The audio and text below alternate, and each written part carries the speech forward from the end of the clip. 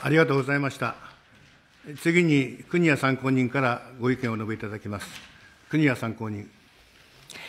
国谷博子でございます。今日は発言の機会をいただきまして、ありがとうございます。えー、今日はあのこの3年ほど私があの SDGs の取材、そして啓発活動に関わってきたとものとしまして、SDGs での国内での広がりがどのような状況になっているのか、浸透度の状況、国内での推進体制につきまして、感じているいくつかの課題、そして若干のまあ提言を申し上げたいと思っております。で私はあの組織に全くあの所属しておりませんで、個人として活動しておりますので、あのこの場でごく簡単にですけれども、なぜ SDGs の取材啓発活動を行うようになったのかということにつきまして、あのお話しさせていただければと思います。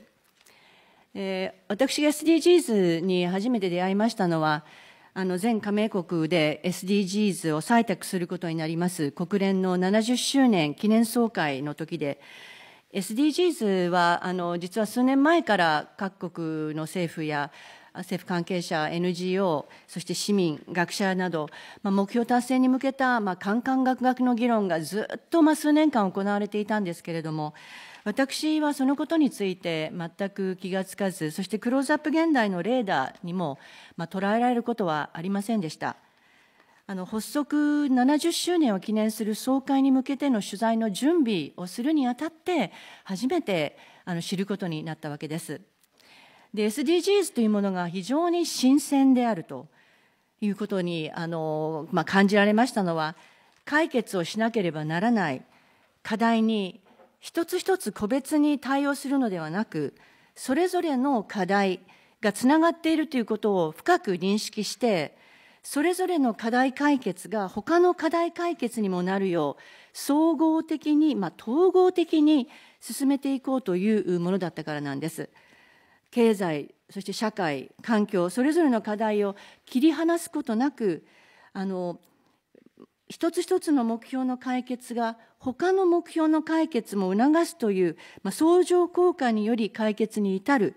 というふうに作られていたわけなんですね。でそのことに大変新鮮なあの驚きとともにそして感銘を受けました。で3年前の3月まで「クローズアップ現代」という番組をキャスターとして担当してまいりましたが一つのあの問題が起きてその問題について番組で取り上げて、解決策だと考えられていたことを番組で提示したことが、数年経ってみてまた取り上げてみますと、その解決策だと思えたことから、新たな問題が生まれていました。で、あの時、一体自分は何を伝えたんだろうか、そう悩むことがございました。で、そういう思いが深まる中で、SDGs に出会って、その考え方、進め方というのがとても新鮮に思いました。何か番組で、続けながら悩んでいたことに対して、解決策を与えられたような、まあ、そんな印象を持ちました。そしてもう一つ、ニューヨークで取材をして番組を出して日本に戻ってまいりますと、まあ、今後の世界、日本に大変大きな影響をもたらすであろう SDGs についてメディアがあまり取り上げていない、伝えていないということにも衝撃を受けました。まあ、私自身があの申し上げたように SDGs を知るということが大変遅かったわけですから、まあ、大きなことは言えないんですけれども、まあ、そういうこともありまして、番組を離れましてから、あの3年、この3年、SDGs の取材、まあ、啓発に微力ながら個人として関わってきております。で、まあ、国連で採択されましてから3年半経ちました。政府内に先ほどの北岡理事長の話もありましたように SDGs 推進本部が発足しましてもう3年になります。で国内での浸透度がどうかということについて申し上げますと最初の2年ほどはなかなか浸透しませんでした。この1年を見ますと企業自治体生活協同組合などの協同組合大学など幅広いステークホルダーの中で浸透度、認知度は急速に高まってきているように思えます。とりわけ大企業においてこの動きが顕著です。積極的に経営計画に取り込んで、統合計画書に経営課題と SDGs がどのように関係しているかを記述する企業が増えています。で企業にとりましては、SDGs が、まあ、新たなビジネスチャンスをもたらすという側面もあるんですけれども、大きな影響をもたらしているのは、ヨーロッパを中心に急速に広まっています ESG 投資が、まあ、日本にもその波が押し寄せているからだと思われます。ESG 投資は企業が環境、社会的課題にどのように向き合っているのかが重要な投資判断基準になります。このため、企業は SDGs が掲げるさまざまな社会的課題の解決を企業経営に取り込もうとしています。さらに年金積立管理運用独立行政法人、まあ、世界最大の機関投資家 GPIF が、おととしから ESG 投資に関わる資金運用を始めたことも大きな影響をもたらしています。特にグローバルな展開をしている企業は、まあ、当然かもしれませんけれども、海外のグローバル企業、そして海外の政府の SDGs に向き合う動向に非常に敏感に反応しています。しかし、大企業全体に SDGs が十分な浸透を見るまでには至っていません。企業の社会的責任を重視する大企業で構成されていますグローバルコンパクトネットワークジャパンの会員企業へのアンケート調査を見ますと SDGs が経営に定着したと答えた企業が急速に増えて昨年の秋の調査では59%にまで達しています。そして取締役会で議論したという企業も70%になっています。しかし、中間管理職に定着したと答えたところは、増えているとはいえ、まだ18%。従業員に定着したと答えたのは17%にとどまっています。さらに中小企業への浸透度を見ますと、ほとんど浸透していません。関東経済産業局が昨年10月に1都10県の中小企業500社を対象に行ったアンケート調査によりますと、SDGs について全く知らない、今回の調査で初めて知ったとする企業は84.2%に上りました。SDGs に対してその対応してアクションを起こしているもしくは検討していると答えた中小企業は全体のわずか2%でした。まあ、これからの時代、ESG 投資や SDGs の動きはグローバル企業、大企業にとどまらず、中小企業も無縁ではありません。サプライチェーンを含む原材料から製品の消費段階に至るまでのあらゆるビジネスプロセスが ESG や SDGs の視点でチェックされる時代が来ようとしています。中小企業にとってもビジネスチャンスの機会が生まれる可能性があるわけです。そのために中小企業への浸透というのが急がれます。一方、自治体を見てみますと、SDGs に対する関心が高まっています。国が地方創生に SDGs を原動力として位置づけました。昨年から SDGs 未来都市の選定を始めたこともあります。SDGs の認知度が高まりました。2030年のありたい未来を描いて、そこからバックキャスティングして現在の課題解決の方向性を見出していくという SDGs の手法が人口減少などに悩み、未来に向かってどう行動したらいいのか苦闘している地方自治体に地域づくりの新しい視点をもたらしているんです。例えば、ある町では、住民が参加して、SDGs が掲げる社会課題に照らし合わせて、自らの課題を見出し、将来こうなりたいというビジョンを描いて、そこから地域づくりの総合計画を作り上げています。一般市民への浸透はどうでしょうか？これはまだまだといった感があります。私も SDGs の講演を頼まれて伺った会場などで SDGs を知っていますか？と手を挙げてもらいますと SDGs を知っている人はまだわずかですある新聞社が継続的に東京神奈川県在住の3000人を対象に調査を行っていますがこの2月の調査で SDGs を聞いたことがあると答えた人19%、まあ、5人に1人といった感じでした。最近、まあ、食品ロス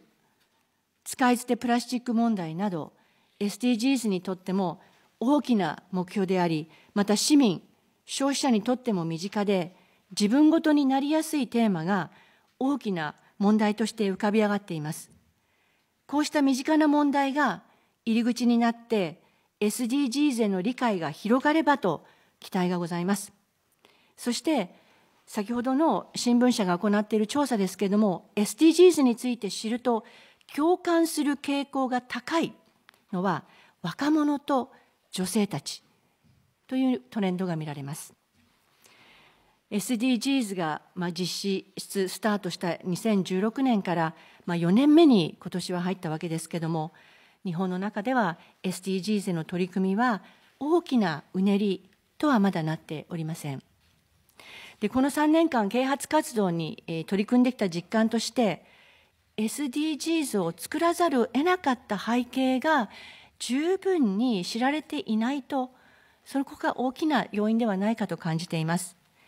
地球の持つこの SDGs というのは地球の持つ私たち人類の生命を維持してくれている地球システムが、まあ、危険な状況に近づきつつあるという、まあ、強い危機感から SDGs が作られたわけですけれどもそれがなかなか共有されない。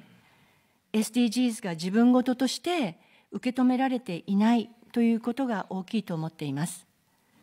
さらなる推進の強化。そして啓発活動の強化が求められていると思いますでその点からですねさまざまな取り組みを取材して感じているのは SDGs を強力に推進していこうという、まあ、政治の意思がまだ希薄だということでございます。え先ほどグローバルコンパクトネットワークジャパンによる加盟企業へのアンケートをご紹介しましたけれども、このアンケートでは SDGs に影響力のあるセクターはと尋ねますと、政府、政府系団体がトップとして挙げられます。また自治体へのアンケート調査でも取り組みの障害として先行事例や成功事例がないといった理由と並んで国や地域の盛り上がりが乏しい。国の方針が分かりづらいためどう推進していいか分からないという答えが上位を占めています。SDGs の目標は全世界共通のものであってさまざまなステークホルダーが同じ目標を目指して進むわけですがその目標達成に向けての方法プロセスはそれぞれの状況に応じた自主自主的な方法に任されています。こうしたその多様な人々が参加し自主性を重んじた方法は思いもしないようなアプローチやイノベーションも生み出す可能性を秘めています。その一方で SDGs 達成に向けて一体何をすべきかどう取り組んでいけばいいのかといった戸惑いを与えているのも事実です。そうした中で国、政府の役割はどうあるべきでしょうか？3年前の2016年5月に政府に全閣僚による SDGs 推進本部が設置されました。その下で策定された実施方針により8つの優先課題と具体的施策が決定されています。そしてそれに基づいて2018年からはアクションプランも策定されています。また政府が実施しているジャパン SDGs アワード、昨年から始まった SDGs 未来都市の選定は、先進的に SDGs に取り組んでいる自治体、企業、NPO など広く社会的に知らせ、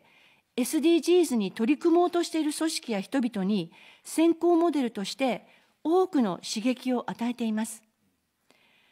しかしながらこのような取り組みが行われているにもかかわらず、なぜ SDGs 推進に向けた政治の意思が強く受け止められていないのでしょうか。それは一つには、具体的施策として挙げられているものが、SDGs に取り組む以前から各省庁がすでに提案し、進められている施策を8つの優先課題別に整理されたもので構成されていて、SDGs に取り組むにあたっての、まあ、国家戦略であるとされながら、2030年へ向けての新しいビジョン、新たな政策としては、くっきりと示されておらず、SDGs によって何をどう変革していくのかが見えていません。また、SDGs にはさまざまな目標、ターゲットの達成に向けての行動がお互いに連関し、相乗効果、シナジー効果を生み出すことによって、その達成をより確かなものにするという特徴があります。そのことを可能にする強力な仕組みが必要だと思われますが、その仕組みは実現していません。SDGs 達成のためには、できることを積み上げていくというのではなく、野心的な目標を掲げて、やらなくてはならないことをスピード感を持って実施していかなければなりません。そのためには、複雑に絡み合う課題を統合的に検討し、その具体化施策を策定していく核となる強力な専任スタッフ部門、例えば内閣府に SDGs を推進する部局の設置などが、まあ、必要ではないかと思われます。この省庁縦割りを超えたスタッフ部門と、現在推進本部のもとにある円卓会議に参加しているさまざまなステークホルダーのメンバーが深く連携し、その議論の中から2030年を目指すさまざまな施策を生み出すといった方法が取れないでしょうか。円卓会議は SDGs 達成に向けた日本の取り組みを広範な関係者が協力して推進していくために作られたもので、円卓会議は今、年2回の開催にとどまっています。意見交換する場、ややもすれば政府から出されたプランにお墨付きを与える場として、まあ、しか機能していない具体的な政策形成の場となっていない面がありこの円卓会議の機能を大幅に見直し強化することが重要だと思われます。実施指針には省庁横断的な分野別の事項についても事項に応じて関係するステークホルダーとの意見交換や連携のための場の設置等を検討すると書かれています。テーマ別の分科会も積極的に行って、より深い検討を行い、新たな政策形成に反映させていただければと思います。そして SDGs は国際法のような法的拘束力を持つものではないんです。世界共通の目標に向けて、各国は進捗状況をきちんと把握して、国際社会でどこまで進んだのかということを明らかにしなければなりません。そしてそれをハイレベル政治フォーラムなどでその進捗が比較評価されることで各国の積極的な行動を引き出そうというものです。まあ、SDGs はターゲット目標ターゲット指標からなっていてその進捗をモニタリングして評価するというある意味測って比べるという分かりやすい仕組みを持ったものです。推進にあたっては強い政治の意思のもと、その仕組みがシステマティックに動くよう作っていかないと、スピーディーな目標達成ができないというふうに思います。そして、えー、現在の進捗推進体制では、フォローアップの進捗把握の、えー、各個々の政策担当の省庁の、ま、省庁任せになりかねませんし、各種政策の統合効果の測定もできないまま、終わる可能性がございます。そしてもう一点だけ申し上げたいのは、えー、今年実施指針の改定が行われるということですので、多くのステークホルダーの参加のもとで、大胆な改定をしてほしいと思いますし、そしてもう一つ、この場で申し上げたいのは、えー、政治の強い意志を内外に示すために、SDGs 推進基本法を制定する必要があるというふうに考えます。えー、政治の意思の本当に強度を保つためにも、立法措置による政府や自治体など行政組織に対するある種の縛りというものが必要ではないかと思います。えー、基本法についてはもう少し申し上げたいこともありますけれども、時間となりましたので、えー、私のあの発言はここで終わらせていただきたいと思います。えー、このような場で発言させていただく機会をいただきまして、ありがとうございます。ありがとうございました。次に、浅岡参考人からご意見をお述べいただきます。浅岡参考人。はい。浅岡でございます。本日はお招きいただきましてありがとうございます。えー、私はあのこの気候ネットワークという NGO の関係で本日お邪魔をさせていただいておりますが、気候ネットワークは97年に、えー